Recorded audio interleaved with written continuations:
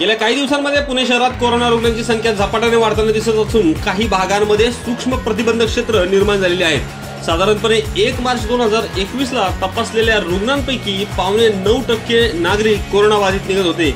मात्र त्यानंतरच्या दहा दिवसाचा विचार केला असता आता दहा मार्च दोन हजार एकवीस ला तोच आकडा वाढून साडे सतरा टक्क्यांच्या पुढे गेलाय. म्हणजे दहा दिवसात जवळपास तपासलेल्या नागरिकांपैकी कोरोनाबाधितांच्या संख्येत नऊ ते दहा टक्क्यांनी वाढ झाली आहे.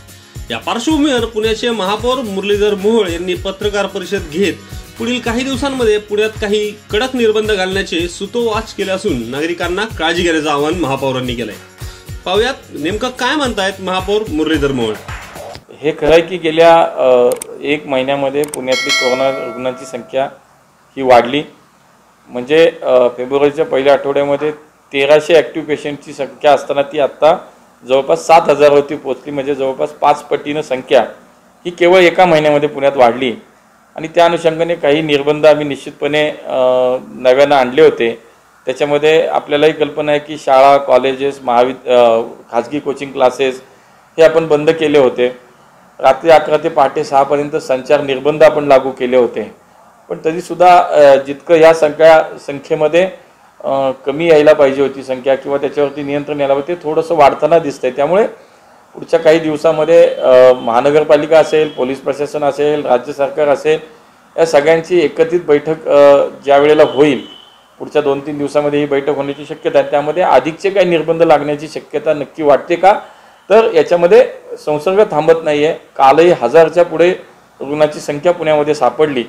आणि त्यामुळे कदाचित उद्या उदाहरण द्यायचं म्हटलं तर काय निर्बंध अधिकचे वाढतील? तर साधं उदाहरण त्याच्यामध्ये द्यायचं म्हटलं तर आज जर उद्यानं म्हटलं आपण तर दोन्ही वेळ उद्यानं उभी आहेत उघडी आहेत सकाळी आणि संध्याकाळी. तर सकाळी व्यायामाला लोक येत असतील तर सकाळी काही न करता संध्याकाळी उद्यानं बंद करावीत का? पुन्हा एकदा स्विमिंग पूल असतील जिम्स असतील किंवा मंगल कार्यालयामध्ये जी काही लग्नांच्यामुळे इतकी मोठ्या प्रमाणामध्ये संख्या होती लोक गर्दी करतायत त्या ठिकाणी अधिकची काही कडक अजून नियम आणावेत का?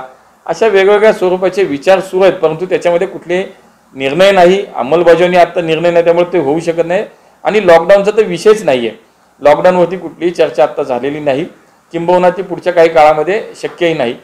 परंतु काही निर्बंध नव्याने याच्यावरती आम्ही विचार करतोय की शेवटी ही साखळी तोडली पाहिजे. संसर्गाचा हा सगळा जो वेग वाढतो ती साखळी जेव्हा तोडू तेव्हा खऱ्या अर्थाने कुठंतरी आपल्याला पुन्हा एकदा कोरोनावरती कंट्रोल या निमित्तानं आणता येईल. आणि म्हणूनच नव्याने काही निर्बंध अधिकचे आणावेत का?